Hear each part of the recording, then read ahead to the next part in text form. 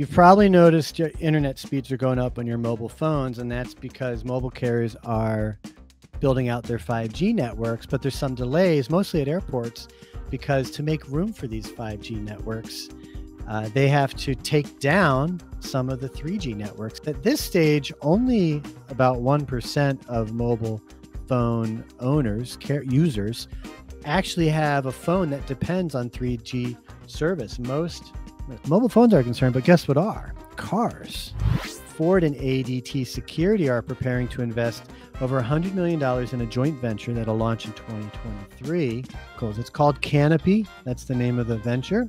And it's going to combine ADT's professional security monitoring and Ford's video camera technology to protect Ford vehicles uh, and eventually those of other automakers.